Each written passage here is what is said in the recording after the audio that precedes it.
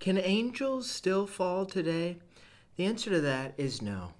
Angels are now able to discern the ones that did go with Lucifer, the third of the angels who fell along with Satan, and uh, two thirds of them stayed in heaven.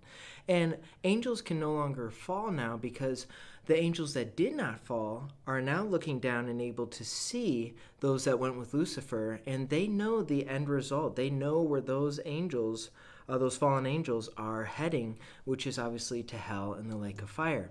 And so the ones that are still dwelling with God in a perfected and purified state, they're able to see that God's word has been unraveled to mankind. They've seen God create, they've they're giving praise and glory to God continually, but they're able to see and understand and discern that God's word is truth because they know God on a much more uh, uh, revealed level than we are able to see. Because obviously, none of us has seen the Lord Jesus Christ in visible form, but the angels have. The angels saw him uh, go to the cross and die for mankind's sins. Now, obviously, our relationship is much more deeper than that of angels because even Paul the Apostle says, Do you not know that we made in God's image and who have become born again, who have believed Jesus Christ as and Savior, and repented of our sins, do you not know that we will judge angels?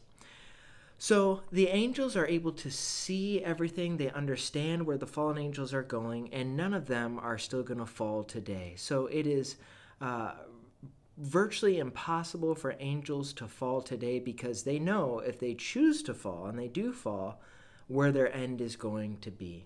So God has a divine plan behind anything and everything. He knew that a third of the angels would fall before he even created the angels, but nonetheless, God is the one who is able to work out evil for a greater good. And so we know that angels currently today and moving forward, they will never be able to fall again because they understand, the ones that have not fallen, they understand what happens to those that choose to fall away and choose to go away from God because their end result is destruction in hell in the lake of fire.